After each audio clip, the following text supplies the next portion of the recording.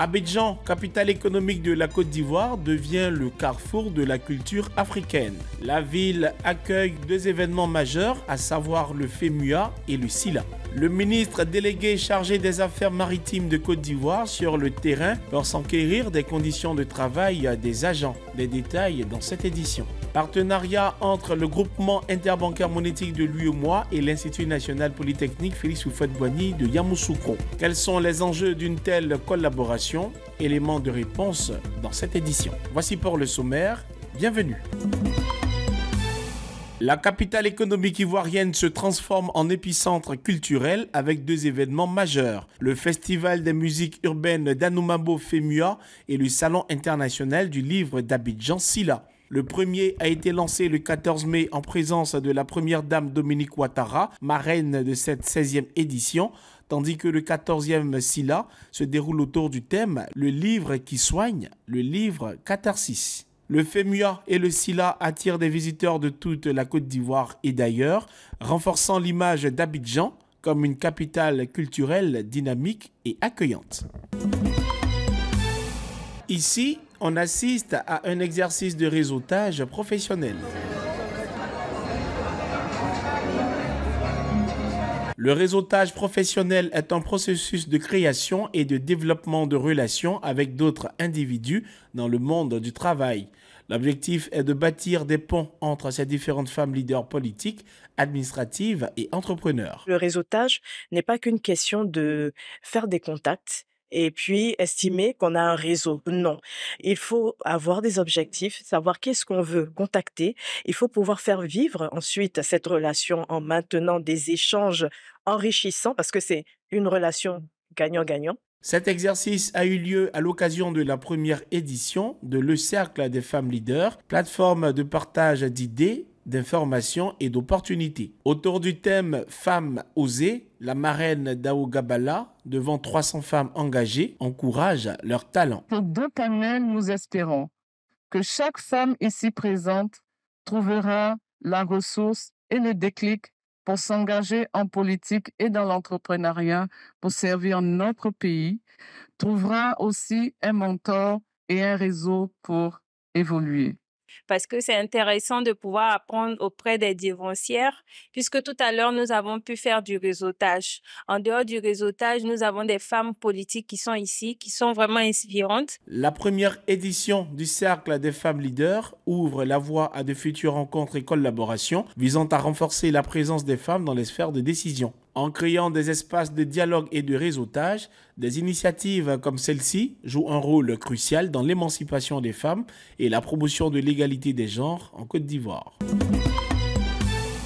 Après San Pedro, Adiaké et Jacquesville, le ministre délégué chargé des Affaires maritimes, Dr Célestin Seredo, s'est rendu à Bingerville le lundi 13 mai.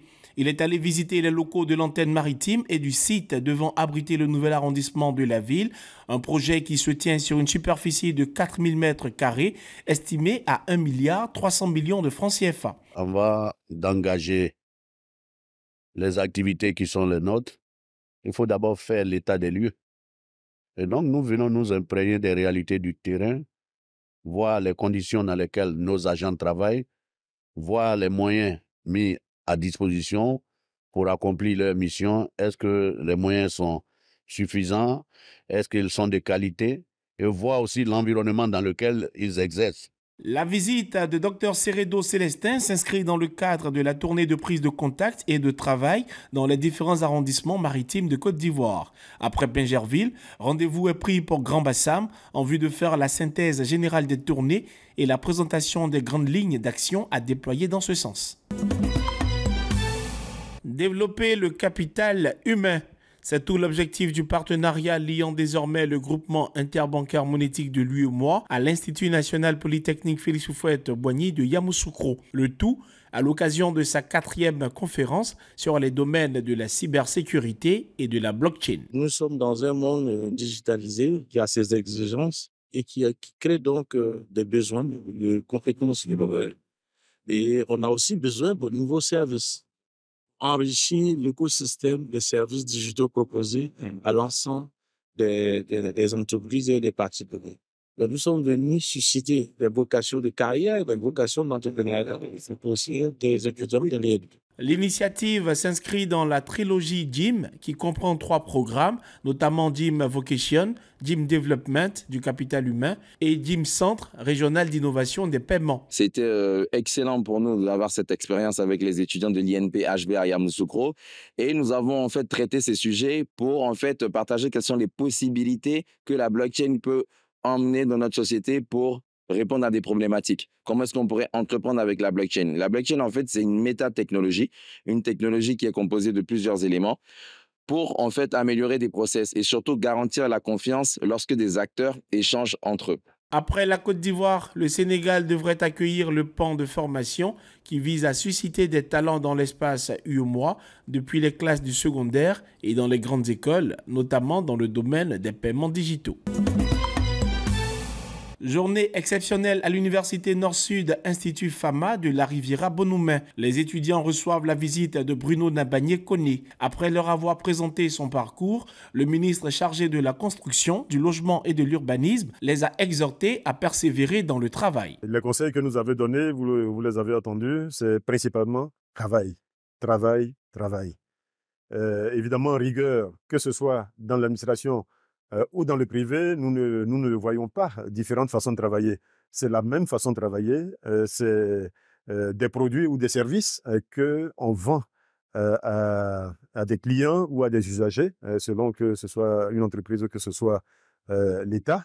Mais il faut y mettre tout le cœur. Le temps d'échange a permis aux apprenants d'exprimer leurs préoccupations dans le domaine du génie civil. Ils ont également tenu à faire bon usage de ces conseils. Une rencontre très enrichissante du fait qu'on a pu apprendre en fait plusieurs choses concernant le bâtiment, le logement et tout. Et surtout aussi un parcours très, très, très vraiment, je sais pas comment je vais l'exprimer, vraiment, vraiment très enrichissant.